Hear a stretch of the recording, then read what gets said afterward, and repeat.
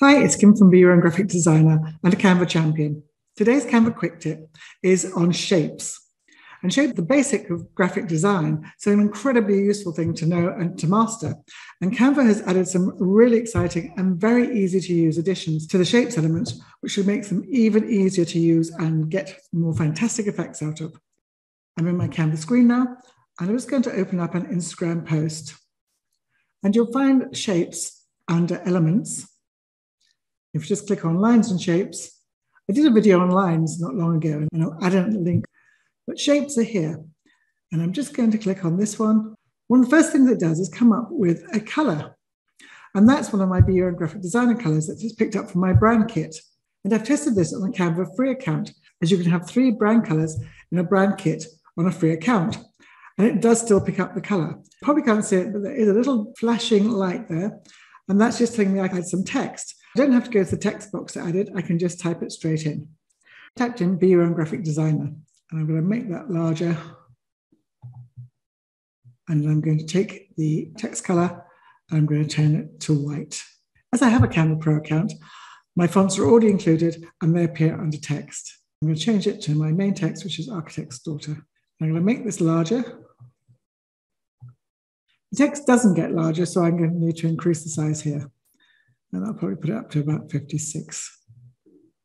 Let's go to the top line. And here you'll see a new addition that says shape. If you click down on that, I can now change the shape to any other shape in the selection. And it's really easy and quick, as you can see.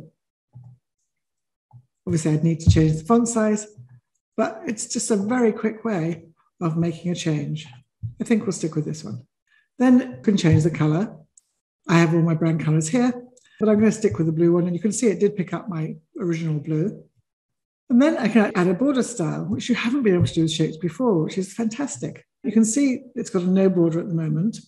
But if I move this along, it'll add a border. And I'll add quite a thick one. And here the text does adjust to fit within your design. The next thing I want to do is change the type of line. So this is a solid line, and I can change this to dashes or little dashes, or I can change it around. I like doing this. Keep moving this backwards and forwards.